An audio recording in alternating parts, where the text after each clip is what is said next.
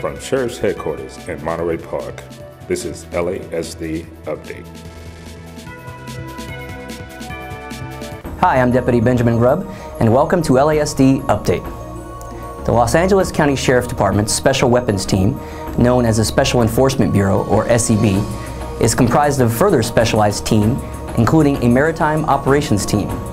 This team has many areas of comprehensive training and responsibilities, including an underwater dive team for things like search and recovery for evidence or bodies, or the search for explosives. They also have a boat operations detail that maintains a fleet of boats for homeland security and ocean rescue related duties.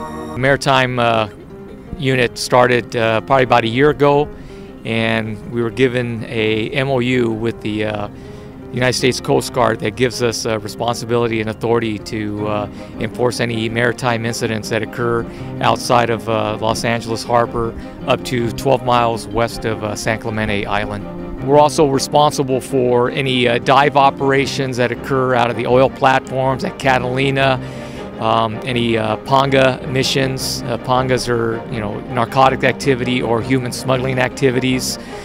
This particular boat is the, the Raptor. We have three Raptors. They're our high-speed uh, vessels, intercept vessels.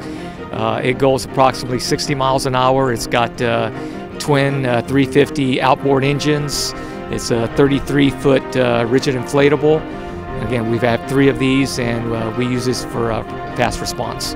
First of all, you have to be assigned to the Special Enforcement Bureau to even get assigned to the Maritime Cadre. So it's any deputy that's out working patrol knows that they have to wait their two years to be eligible to take the, the test for the Special Enforcement Bureau.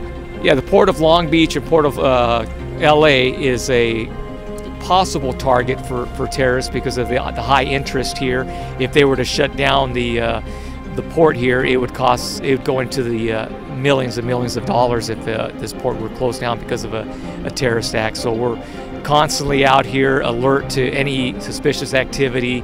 Uh, there is some high interest uh, targets that we constantly monitor and make sure that they, they stay safe. Some of the scenarios that we might that we do train for is uh, hostage rescues, uh, maybe barricaded suspects on a vessel, um, suspicious packages on a vessel, either on or under a vessel. That's why we have our divers also trained up for any suspicious activity that goes on underwater also. So there's, very, there's various uh, scenarios that we train for. What we're doing here today is we're assisting the uh, uh, United States Secret Service in providing a security area where the uh, where Air Force One will be taking off from and landing. We also provide security for Marine One that will fly him out here. So if anything does happen, we get some suspicious vessels in the area, or, or God forbid, one of the helicopters or something was to go down, we'd be here. We have divers on board, and we also have special weapons members that are on board.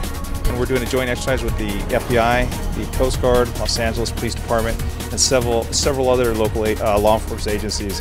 The purpose of the drill is to check our readiness to see how we perform on handling a um, hostile situation on one of our local oil uh, well platforms off our coast. Today what our exercise is going to be, we're going to have two different assault teams. One is going to come up from the water side and the second team is going to come from the air. So what we're going to have them do is going to have a, a simultaneous assault of the oil rig. The Air 5 uh, airship is going to drop a team, fast rope a team onto the uh, landing zone platform they already have on that oil rig. And our second team is going to come up from one of our boats that we're going to bring up, and that team is going to enter from that side. While we're doing that, we're going to have another boat off the uh, off the oil rig that's going to provide coverage, and then we're going to have one of our fast boats, which we call Raptors, which will circle the uh, oil rig and provide any kind of uh, cover that the teams might need.